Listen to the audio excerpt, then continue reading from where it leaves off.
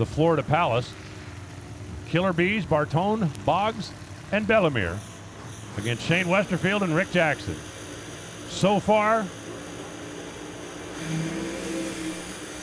oh, and a rattle and a pedal. And Shane Westerfield is going to take home the trophy. Celebrate, boys. 5, 600, 261 miles an hour. 585 for Sean Bellemeur. Rattle the tires, pedaled it, 258 miles an hour, and could not catch. Shane Westerfield. Tell me who was making the calls on your car this weekend.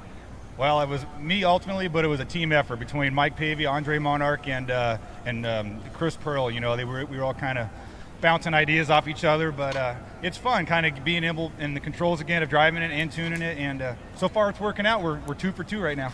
I know Rick is probably, hopefully, watching. What would you say to him? He gave you this opportunity, and you guys have really delivered. Oh, he's he's one of the, the best dudes I know. You know, we're just hoping and praying every day he gets better, and he is. He's fighting right now, and I guarantee this will uh, make it a lot better here for him. And Rick, we miss you, buddy, and uh, hoping for you to get back out here soon. And you really crushed him. You took out Bellemeur in the final round. He had to pedal the car, but the class of the field all weekend long. Yeah, you know, we, we really were, you know, and uh, it was just a tribute to our team, you know, how strong we are right now. And all the big dogs were here this week. And so the fact that we came out on top, uh, I think we're looking pretty good. Congratulations. Thank you, guys.